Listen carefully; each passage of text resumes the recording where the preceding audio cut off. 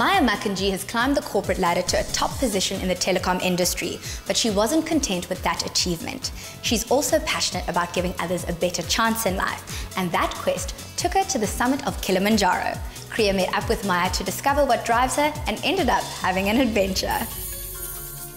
Maya Makanjee has always believed that real success is measured by the positive impact you can have on the world. Her vision, drive and ability have earned her a place on the board of a number of major companies and NGOs, including the board of trustees of the Nelson Mandela Foundation.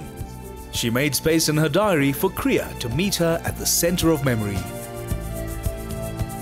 Maya, it's so nice to see you. Welcome to the Nelson Mandela Centre of Memory. Maya, tell me a little bit more about the Centre of Memory. Well, you know, Madiba's left such a legacy for our country.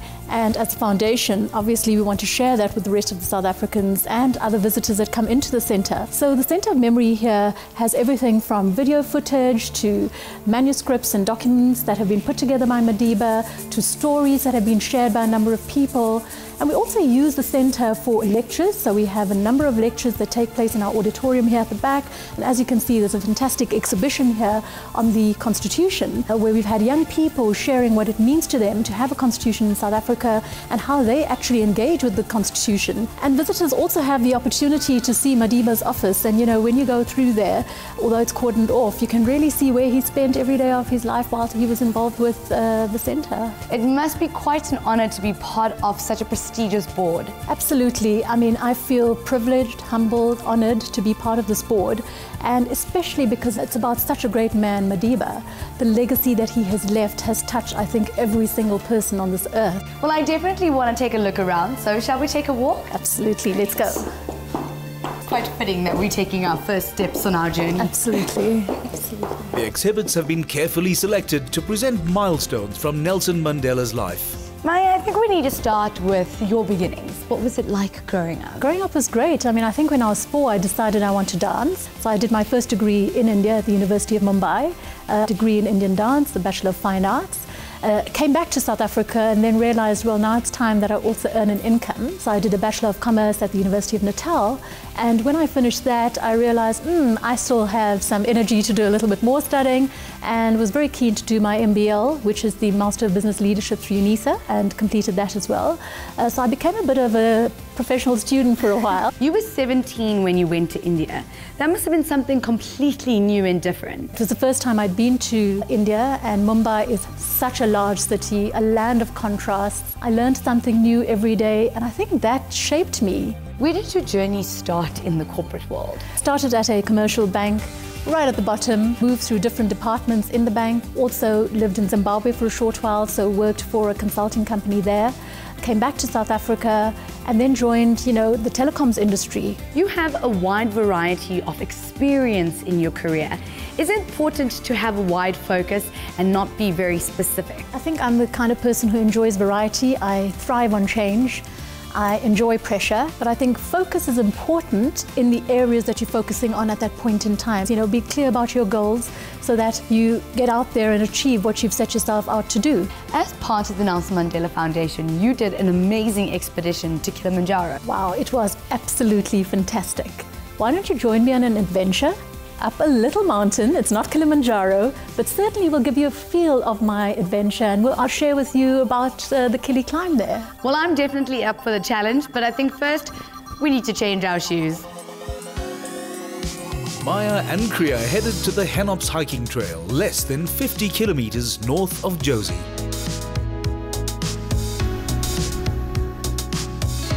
I'm so glad you agreed to join me on this little adventure. It really is beautiful out here. You should do this every day.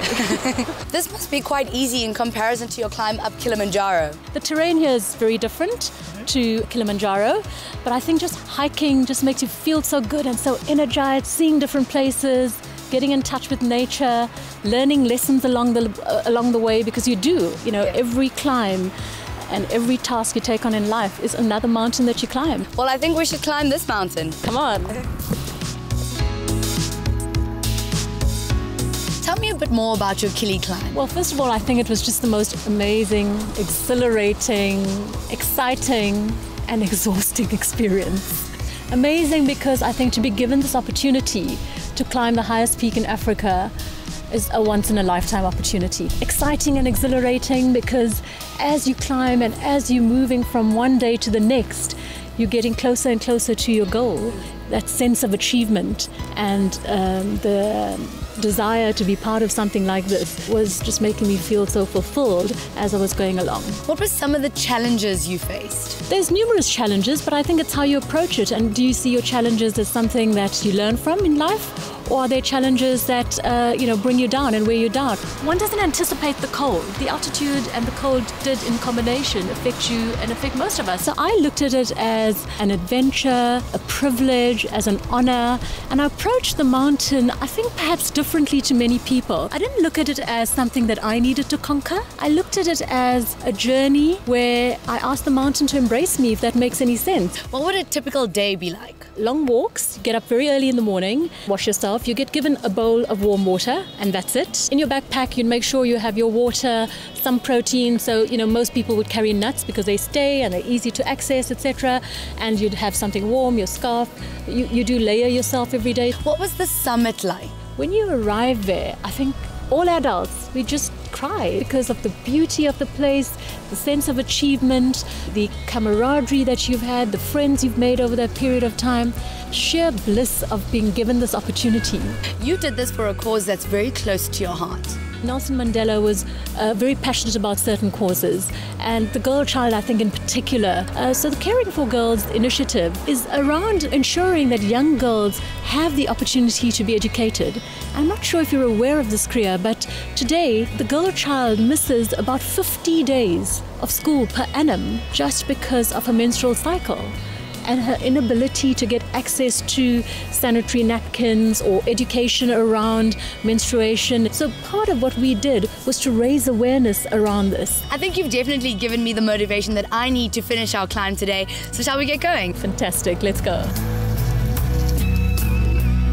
What is one of the biggest lessons that you've learned from your climb? I think I learned that persistence really pays. You know, I'm a very determined person and I always knew that. Mm. But determination combined with persistence and most importantly, having a clear goal irrespective of anything that's thrown at you. What is the message that you would like to leave with the youth of South Africa? Madiba said that sometimes it falls upon a generation to be great.